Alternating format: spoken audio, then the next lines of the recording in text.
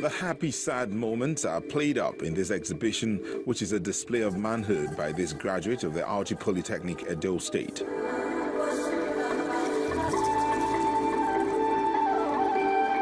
Emmanuel Isiuwe looked at this same issue in his last solo exhibition in 2013, but felt he hadn't quite scratched the surface and decided to make it the headline for this show. The exhibition is very special, especially to, to the man, because it focuses on the male gender in such a manner that tends to highlight their importance both to the family and the society in, in, in a way that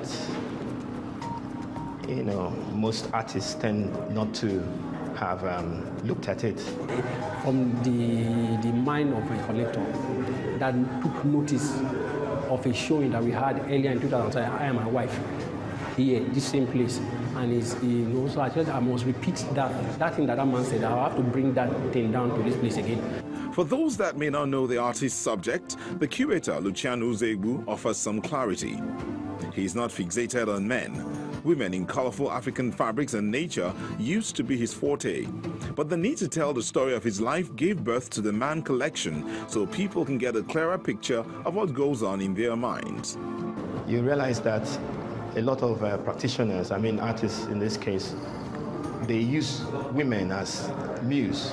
Oftentimes, women paint women, men paint women. But men don't paint men as, as much as women paint women. So Emmanuel Isiuwe has decided to look at the man, not because uh, he feels um, the man is being neglected gender-wise, but he's also thinking that if a man does not on his own talk about men, the subject, visit the male subject, make him the subject of artistic expression, a lot of aspects of uh, the man's life, you know, will be missed.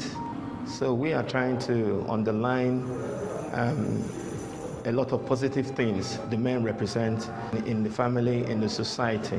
The works of art are to just encourage other men to keep being good ambassadors and not abandon the responsibility to the women because there is no competition between both genders. There are no points to prove. Everyone has their place in the circle of life.